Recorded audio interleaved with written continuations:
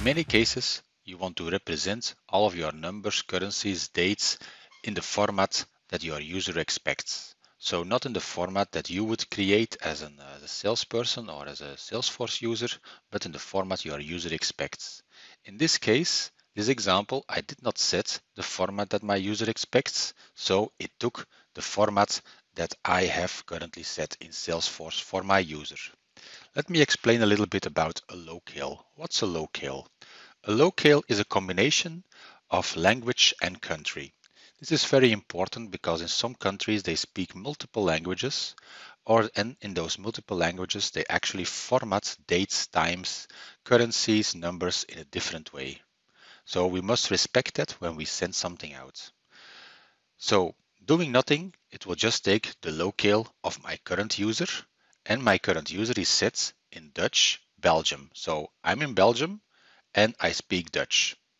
What happens in a locale? It says here that my language is Dutch, NL, and that my country is Belgium. So now for the formatting, it will know what to do. And you can see that everywhere. You can see that here in the in the uh, euro sign and in the formatting, the comma for a uh, for a decimal separator. Uh, you can see how my dates are uh, translated in uh, in Dutch. So all of this is taken. Now let's move that to the context of our customer. We know that our customer here is linked to a certain account and we need a, some way from that account or from a contact or from any way that you want to do that in Salesforce, that's your own choice. We need to know this locale of our customer. So what we have, what I have set up here as for the demo is that on my account, and that is this uh, record, I have actually a field and it's where I can easily set the locale. This is the easiest way to do it. Uh, you can uh, have uh, pick lists here, you can have uh, very complex uh, formulas here. Any way to do it, the only thing we need is a field to define what is the locale of our customer, of our uh, context. So also here, I've just created a very simple formula field to pick up the locale that is set on the account. Now let's uh, configure PDF Butler to make sure that this locale is used when uh, generating the, uh, the documents. We just go to the uh, PDF Butler Lightning component.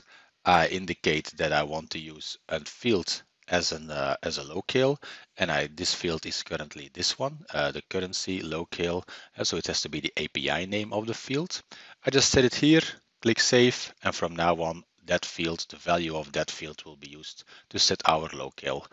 This you can do from anywhere in uh, that you call PDF Butler in Salesforce. If you want to do it from a process builder, from a, a, a button that we uh, that we also support, from Apex, whatever, anyway, anywhere you can always set the locale.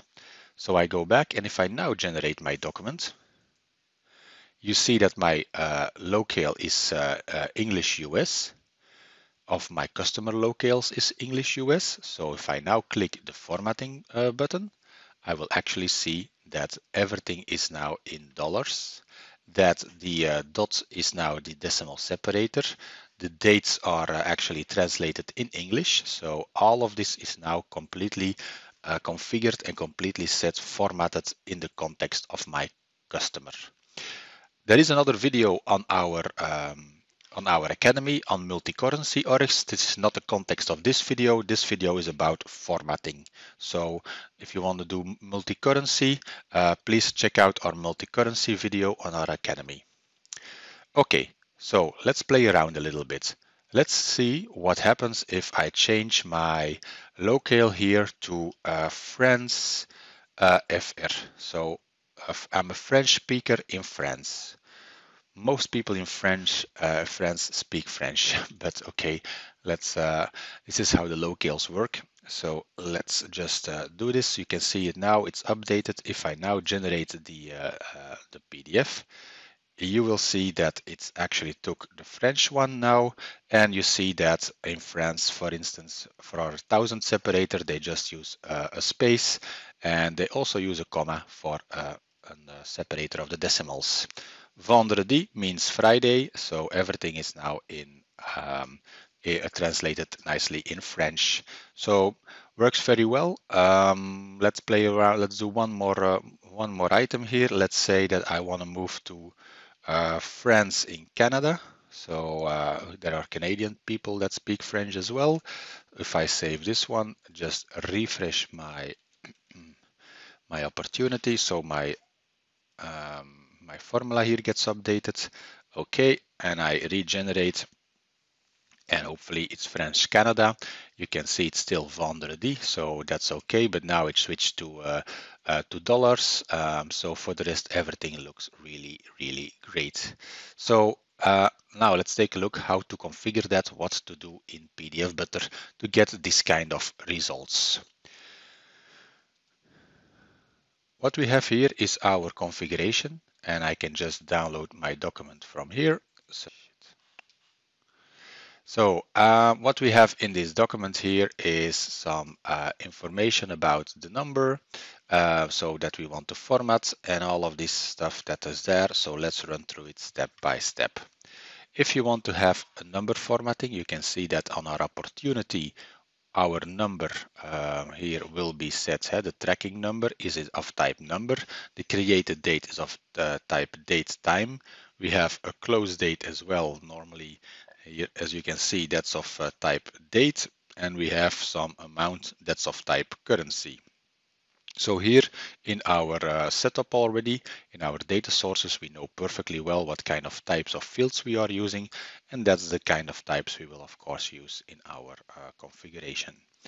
So for instance, we want to do this tracking number. We want to uh, we want no formatting, so that's very easy. You just say, yeah, from the minute uh, you click this, uh, from the second you click this uh, configuration, it knows that the tracking number is a number, so it will uh, say formatting or no formatting. This case is no formatting. The result, as you can see, just the number as we would see it in Salesforce. That's over here. When it's formatting, let's take a look at a second example. Then yeah, you can do actually whatever you want. In this case, I told that there are no decimals. You can see that the dot here is a decimal separator, um, and there should be at least a zero. So all of the uh, um, um, the hashtags they can uh, this they don't show when they when they are uh, absent um, and the zero has to always show as a number this is the thousand separator so I still want the thousand separator means that here in this case the thousand separator is a space and you can see every thousand is nicely separated by a space as you would expect Okay, let's move on. Let's do something uh, more interesting. The currency, uh, no formatting, that's easy. Let's take a look at the currency formatting. With the currency formatting, you can just say, I want the currency formatted. PDF Butler knows about the formatting of every currency. So if you indicate that your customer is uh, uh is French, French Canada, we would know what kind of currency to format. Again, if you do not want to have the dollar sign here, look at our multi-currency video or just change the, uh, uh, the type in the, in the data uh, source from this field to from currency to number. And then you can format it any way you want. So we know by the currency, uh, sorry, by the locale how to format this currency. So that's easy. You just flip it and then it's uh, formatted in the correct currency. Let's take a look at the date. Um, a date, no formatting. Okay, that's easy. Then we just uh, take the date format that has sales from Salesforce. Date format short. Uh, so we have some predefined formats for dates and date times uh, that you can just use out of the box. So you do not have to do anything complex.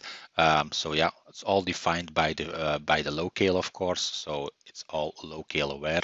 Means we know about the uh, the context of your customer and we do everything in that context. So that's an easy one. Uh, a more complex one, if let's take a look at the date formatting for the custom. And we can see here now, for instance, that what we want here is the year, then we want the space, then we want the month uh, uh, written, not uh, not in uh, not in numbers, and then we want the day.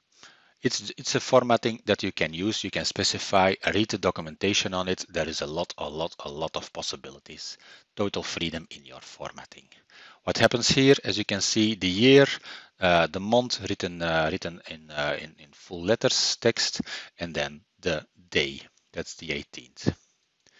Okay, so we have the same for the date time, of course. We have our short formatting. Our custom formatting is more interesting.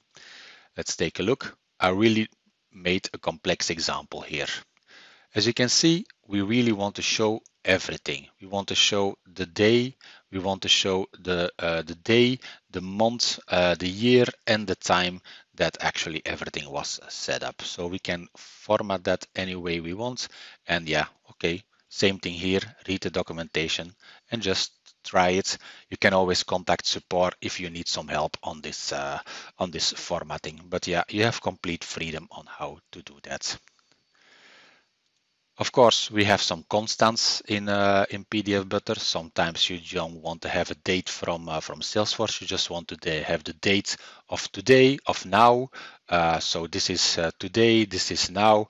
Maybe you want to do some uh, something special, uh, something specific for for in regards of your context, and then you can just set the or use this altern sorry this locale whenever you need it. So that's very easy to uh, to do. You can just uh, use the Cadmus constants here and then use the locale, the alternative, the now, the today. All of these fields are available and yeah, same thing here.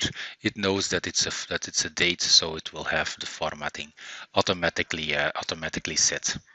Okay, this is it. This is all our formatting information. If you need more information, please uh, uh, contact us at support at pdfbutler.com and we're happy to help you.